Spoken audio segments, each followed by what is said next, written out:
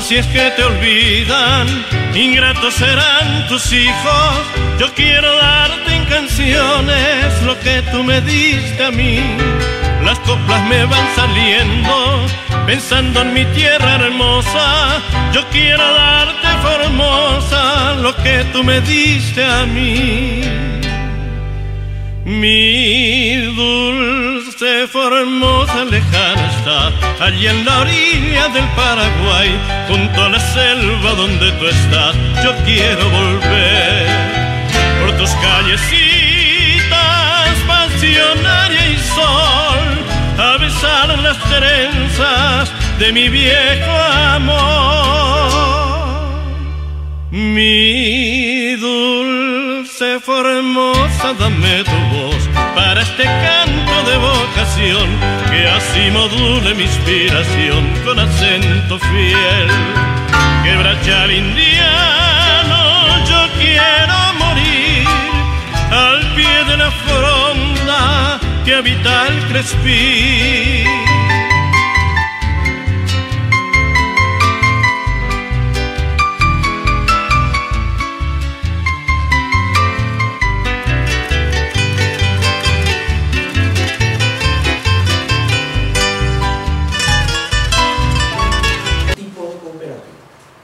¿Y qué son las cooperativas? Son empresas que tienen doble carácter. Por un lado son empresas cuyos dueños son sus propios asociados, quienes se dan sus propias autoridades, gestionan y administran responsablemente y controlan democráticamente el, el quehacer de esa empresa. Esa es una faceta. Por otro lado, las cooperativas son células o son parte de un movimiento universal, mundial. Estamos constituidos en federaciones, en confederaciones y finalmente la Alianza Cooperativa Internacional ASI, que tiene categoría 1 en las Naciones Unidas, es decir, tiene categoría de consejero. Desde luego que las Naciones Unidas han declarado, en- fue en el 2012, Año Internacional del Cooperativismo, y ahora estamos en los 20 años para que el aporte cooperativo vaya nutriendo al desastre económico, social y educativo que tenemos ante nuestros ojos. Puede nutrir. En cuanto al mejoramiento humano, quiero dejarles un mensaje real, concreto, en base a los valores y principios que son éticos y que hacen a la ciudadanía, que permiten, uno es esfuerzo propio y ayuda mutua. Existe una hermanita, que se llama la hermanita Regina, que es formoseña. ¿Le conocen? ¿No? Es una hermanita fabulosa, es una, una mujer especial. Ella se dedica a luchar contra la, la bebida alcohólica, contra el consumo de bebida alcohólica, contra la drogadicción. Y ella tiene un dicho que es categórico, fulminante, diría ahí. ¿Quieres dejar de beber? Es nuestro problema. ¿Quieres seguir bebiendo? Es tu problema. Es decir, le da la dignidad, es el propio ser humano el que tiene que luchar por salir. Esfuerzo propio, tengo que esforzarme, no tengo que ser arrogante. Tengo que esforzarme en ser cada día más, no para competir. Nosotros los cooperantes, nosotros los cooperativos, no venimos a competir, venimos a cooperar para desarrollar una sociedad mejor, cada vez mejor. Así nos expresamos y así actuamos. Acá hay una plazoleta. Acá. ¿Eh? ¿Ustedes siguen acá? Y ahí, ¿conocen? Ahí donde hay cuatro mástiles. ¿Eh? Esa es la plazoleta de la cooperación y la mutualidad. Es mi inspiración. No encuentro en soberbia, sino compartir. Y lo digo con un sentido. Hombres humildes, sencillos, como nosotros, podemos crear. Ese es el mensaje que le estoy enviando, no de soberbia ni nada. Sino que le demuestro palmariamente cómo personas sencillas, sin poder político ni económico de ninguna naturaleza, pueden tener fuerza porque tienen la moral y la ética y se erigen y actúan en la sociedad y así se expresan y así inciden. La provincia de Formosa cuenta con dos diseños curriculares de educación cooperativa y mutual escolar vigentes para la primaria y parte de la secundaria, redactado por la profesora y yo. Dos años después redacta Córdoba, siendo que esta es la provincia más rezagada en cuestiones de cooperativismo. Dos años después Córdoba, y después le siguen todas las otras provincias. Me tocó el honor de ir a la profesora asesorarlos técnica pedagógicamente para que estas provincias, Jujuy, Chubut, tengan su... Ese es el mensaje que, que podemos muchas veces nosotros no nos valoramos. Y ese es, ese es el sentido de la ética. No, no vayan a tomar que algo, este, algo que no, no tiene sentido, ay, este moralista. No, es una fuerza poderosa que te hace tener confianza que vas a lograr, que vas a mejorar, que vas a ser un buen docente o una buena docente, que va a ser, relevante lo que vos hagas para vos mismo y para la sociedad. Porque somos hombres sociales, hombres y mujeres sociales. Es decir, no somos hombres aislados, individuales. ¿no? Vivimos en la sociedad. Que estemos cercenados en la práctica, bueno, ese es el desafío.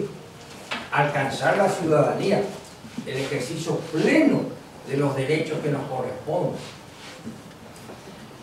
Estamos en un régimen de la economía de la ganancia, cuya rentabilidad es creciente, su necesidad es creciente del capitalismo. Y también nos meten en la cabeza su lógica de razonamiento. En, este sentido, por eso también de que eso. Cuando seleccionamos los bienes y nos apropiamos de ellos, definimos lo que consideramos públicamente valioso. Pero ¿quién nos dijo que es públicamente valioso?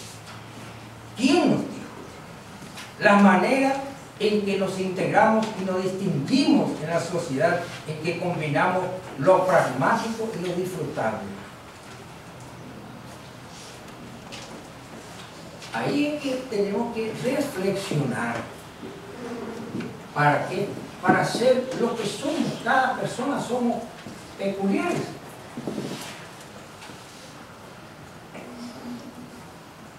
Cada uno tiene lo suyo que tiene que ser para complementar, para compartir y no para competir o aplastarle al otro está esa demostración, ahí está la, soleta de la cooperación como ejemplo de cuanto le estoy diciendo. Los maestros rurales,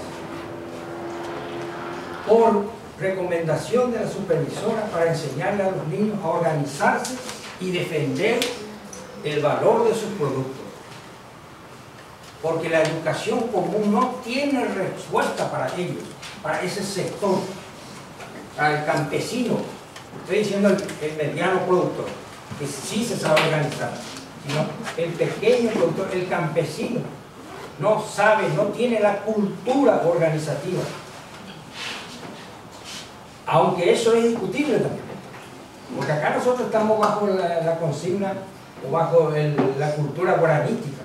Y la cultura guaranítica es muy rica en asociaciones que vienen de la época del doctor Francia y los jesuitas y los guaraníes, que, quienes generaron lo que se denominó el Coyopoy y el Oñamibepá, formas ancestrales de organizar la producción. O sea que culturalmente sí tenemos. Lejana está, allí en la orilla del Paraguay, junto a la selva donde tú estás, yo quiero volver por tus callecitas, pasionaria y sol, a besar las trenzas de mi vieja. 1420 ley, la primera ley san, sanvientina. Ya nos encontramos en un problema.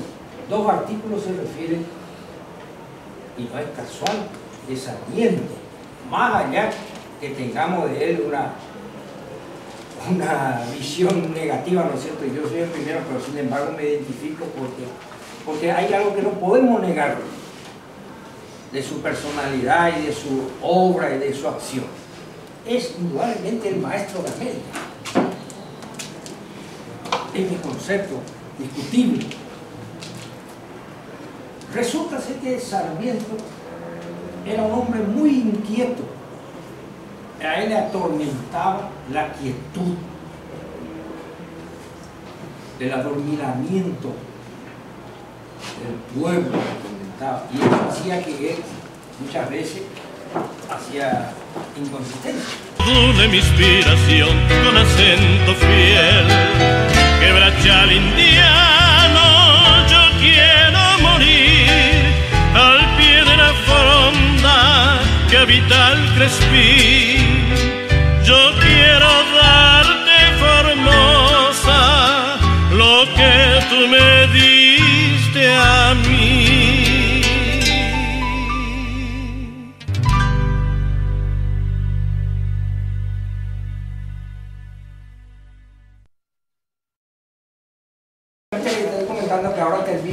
Título de docente sobre política socioeducativa y planteamos, mi planteo, mi tesis de, monográfica es la ausencia en las aulas formoseñas del cooperativismo escolar. Lo cual sería muy bueno que a través de las políticas socioeducativas de nación incorporasen teórica y prácticamente, sobre todo en las zonas rurales. Y como hay que ir hacer, haciendo cortes, va al, secundario. Eso no quiere decir bueno, es, es una exposición recontra desprolija, pero es que es, hay tantos temas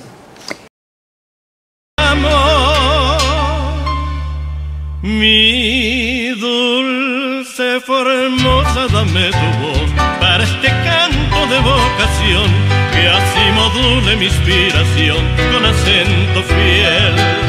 Quebrachal indiano, yo quiero morir al pie de la fronda que habita el Crespí